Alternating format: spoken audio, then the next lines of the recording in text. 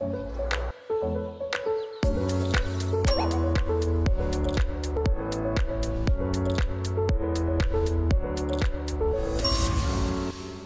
Salut les mordus de tech. Si je vous dis Goo, vous me répondez Google Bah oui, évidemment, il s'agit de Google. Cette semaine, j'ai testé pour vous le smartphone Google Pixel, le premier mobile conçu entièrement par le géant de la Silicon Valley. C'est une petite tuerie en téléphonie haute de gamme qui vaut le détour. Je l'ai testé et je vous donne mon avis en 4 points.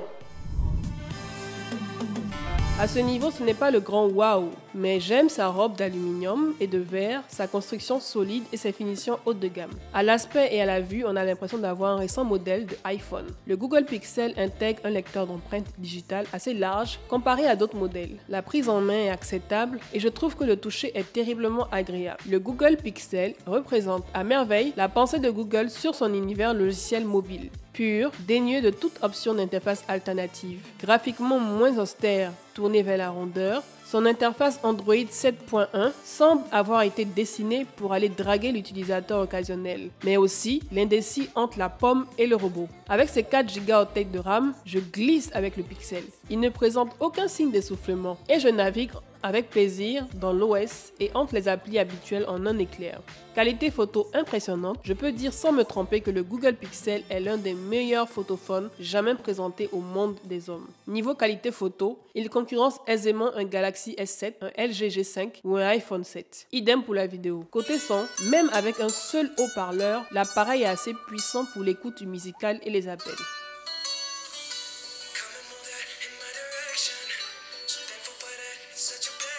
Comme moi, un gros consommateur de multimédia, prise de vue et notification des Twitter, Facebook et autres, verra son pixel expirer à la fin de la première journée. En lecture vidéo, par exemple en flux via Netflix, la bête peut fournir 9h35 d'activité, soit environ une heure de moins que l'iPhone 7 et à 4 longueurs d'horaire du Galaxy S7.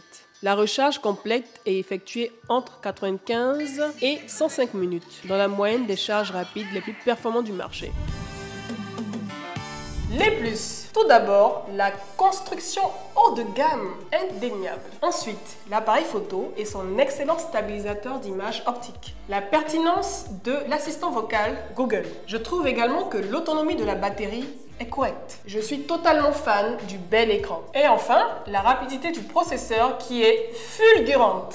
Les moins. Tout d'abord, je trouve que l'écran n'occupe pas suffisamment d'espace, seulement 69% de la face avant. Le design aurait pu être plus compact. Ensuite, la chauffe constatée en photo et en jeu. Mais heureusement, la chute de température est très rapide une fois cet usage lourd interrompu. Pas de port d'extension micro SD. Hmm, ça m'a pas plu ça. Et enfin, l'assistant vocal de Google qui n'est pas en français. Why? So why? Pour moi, le Pixel représente le summum des smartphones produits par Google avec un mariage particulièrement réussi entre la partie logicielle et matérielle. Bref, un très bon élève qui replace Google sur la carte des bons concepteurs de téléphones mobiles. Ma note? 9 sur 10. Voilà, est-ce que vous possédez également un Google Pixel? Si oui, qu'est-ce que vous en pensez? Laissez vos commentaires en dessous de la vidéo et n'oubliez pas de vous abonner à ma chaîne Edith Brou TV. Rendez-vous dans quelques jours pour un nouveau test, lequel? Va rester connecté.